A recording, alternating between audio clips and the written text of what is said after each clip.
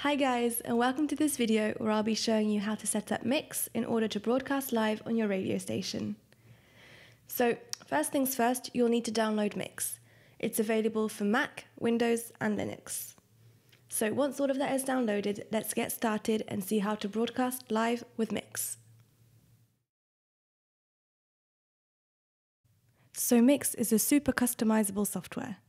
Make sure you display all the elements necessary for a live broadcast. You can view the skin settings by clicking on the wheel in the top right hand corner of your software. So for this video, I'm using the skin called Deere.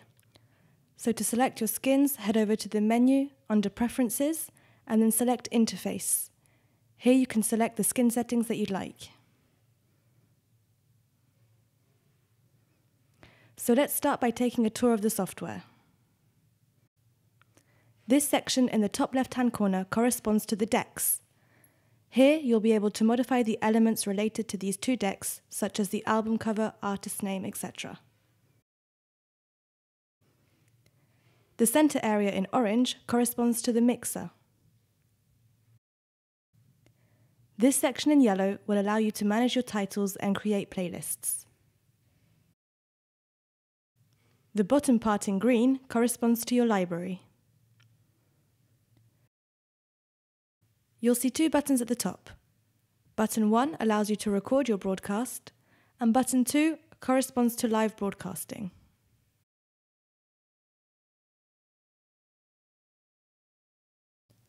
So we're now going to configure Mixxx.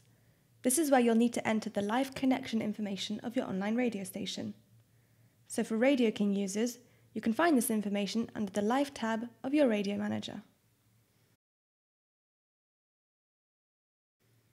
So now we're going to head over to Preferences and then Live Broadcasting, where we can enter the information for our live connection.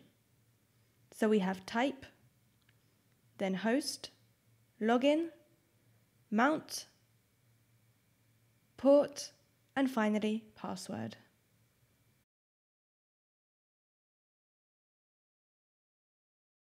So Mixxx will allow you to automatically import your music files.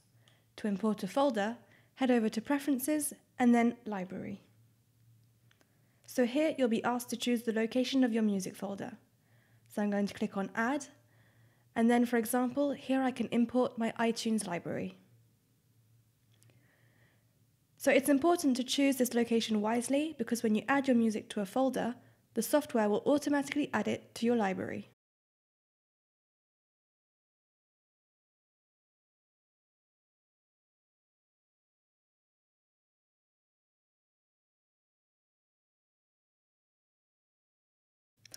So to play music, we're going to drag a title from the library onto a deck. Simply click on play to launch the title and then click on enable live broadcasting to broadcast it live. You can choose the titles you want to broadcast gradually and place them on the decks. Once your title is finished, Mixxx will automatically switch to the next one on the other deck. Mixxx also allows you to broadcast in auto DJ mode, so the software will automatically broadcast your tracks without you placing them onto the decks. To do this, select the titles you want to broadcast. Next, right-click, then select Add to Auto DJ Queue, and you can even choose if you want to add the titles to the top or bottom of the list. You can view your microphone settings by clicking on Mics and Aux at the top right-hand corner of your software. To configure your microphone, head over to Preferences, Sound Hardware. Don't forget to choose your output source. Then, click on Input, then under Microphone 1, select the microphone that you'll be using. So built-in microphone if you're using the microphone on your laptop. To speak, simply click on Talk. If you want, you can even hear your feedback by clicking on the headphone icon. So there you have it guys, you now know how to go live on your radio station with Mixxx. Thanks so much for watching and happy broadcasting. Do you want to create an online radio station? RadioKing offers you a free 7 day trial, no commitment. You can find the link in the description below.